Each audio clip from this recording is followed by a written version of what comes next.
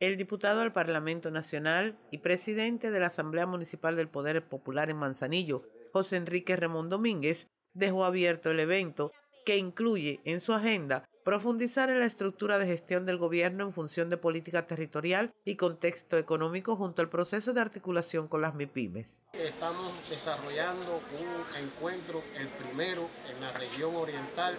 de los nuevos actores económicos y todo lo relacionado con los proyectos de desarrollo local para que de esta forma nosotros volver a los diferentes aspectos desde el punto de vista del intercambio, de la relación comercial, la relación desde el punto de vista de negocio y en este caso en el territorio manzanillero, lugar escogido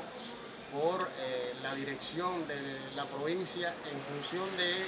la dinámica y el potencial que tiene este territorio. El camino de las MIPIMES no está exento de dificultades, como la lentitud para atenderlas en los procesos de importación, el acceso a las materias primas es difícil, se violan los precios a los que se le ofertan los productos y es muy limitado el acceso a MLC. Están participando MIPIMES de la región oriental, de las provincias orientales,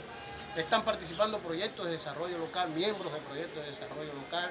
miembros de cooperativas no agropecuarias, el gobierno de Granma, el gobierno de Holguín, el gobierno de Las Tunas, el gobierno de Santiago de Cuba. Pedro Zamora y Cruz Ferrer Sánchez en directo.